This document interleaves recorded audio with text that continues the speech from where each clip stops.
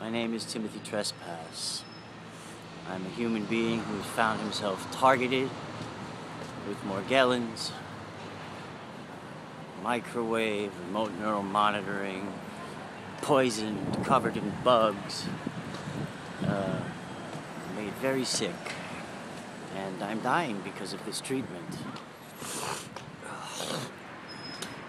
I get these uh, hot flashes in my whole body. You know, alright, when you're about to vomit, when you're nauseous and you're about to vomit, does your body get all hot and sweaty? And then you start throwing up and then you sweat for a few more moments. And after a few minutes then you start freezing cold because all the the sweat on you is evaporating now. And so you're shivering and shaking uncontrollably. This feeling that i get these hot flashes are it's very similar to the beginning stages of vomiting which leads me to believe that it's you know what could it be? Well it could be your endocrine system going bad. Uh, it could be your nerves your brain your neurons in your stomach um, enteric nervous system it could be a, a large number of things but to me it feels like death um, sometimes I mistake it for withdrawal because it feels so horrible. Not just are you sweating, but you, you become completely uncomfortable, discomforted. Uh, excuse me, uh, like a, a, a histamine reaction almost. Sometimes you get all itchy, I get all itchy. But mostly it feels like like I'm in withdrawal or I'm dying. And it passes sometimes after five or ten minutes. It feels like if it's not an internal sickness, which I'm pretty sure it is, but what do I know? It may well be, uh, you know, microwave-based um, active denial systems testing or whatnot. You know, who knows, man?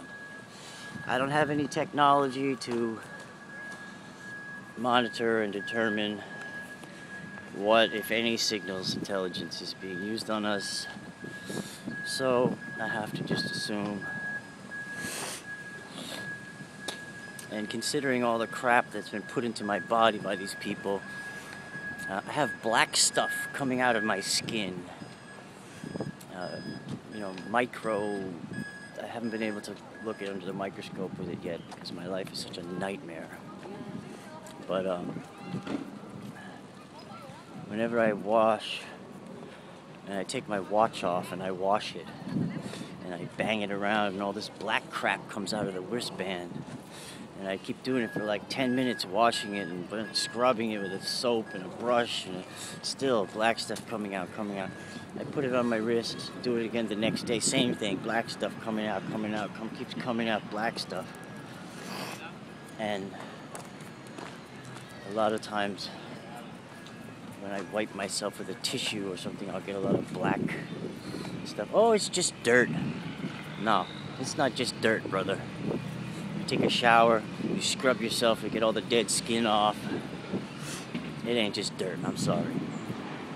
When we were living in the hotel in Midtown, and we were under hardcore attack by some special team they brought in, um, who said, ah, we knocked the shit out of them, but they took it.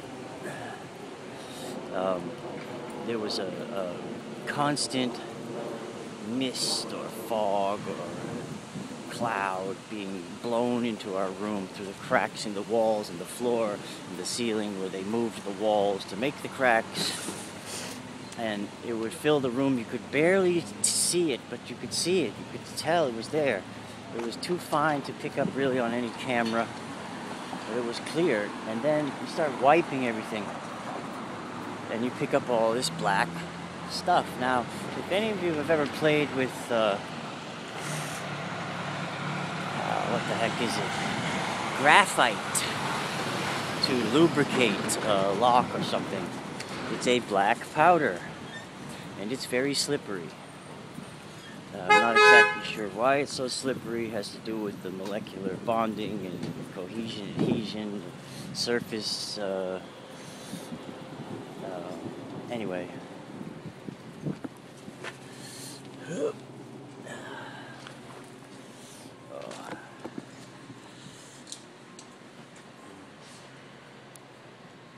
Pedro likes crab like this.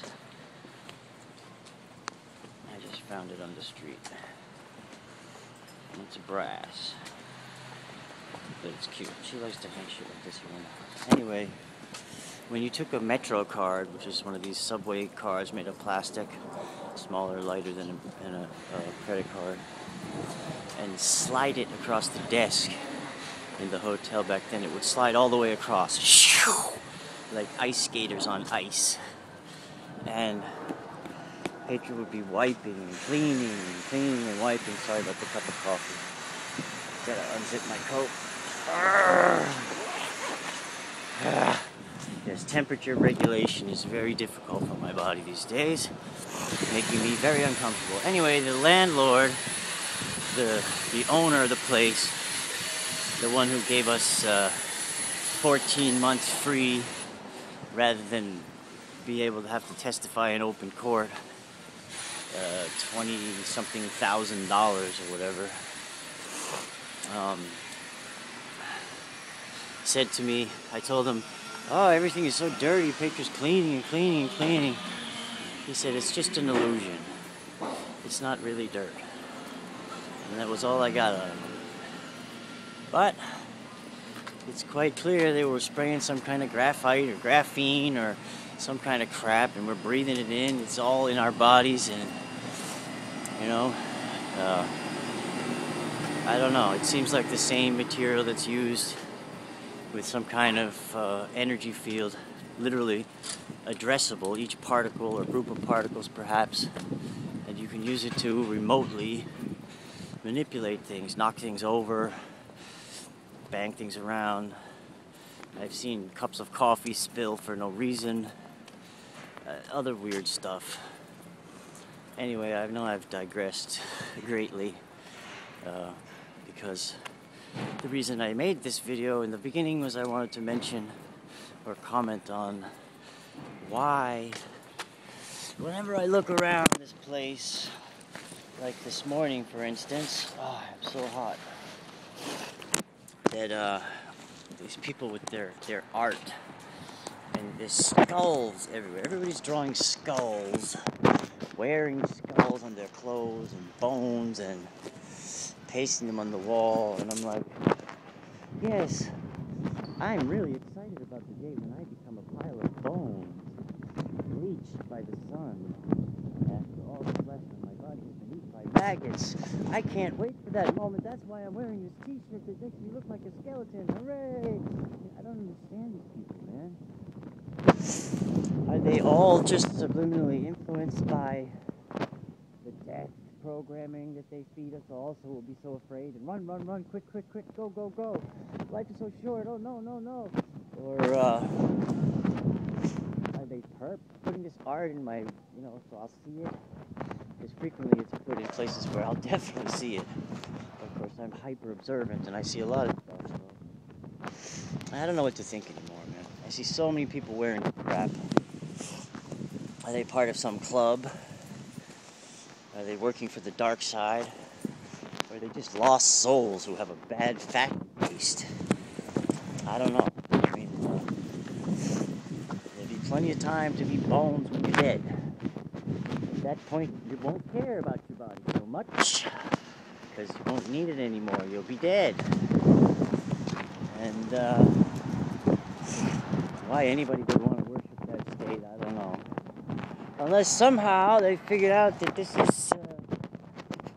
Anyway, let's not go there. Thanks for watching. I know I babble a lot. Let's see if this video gets posted. God bless you all.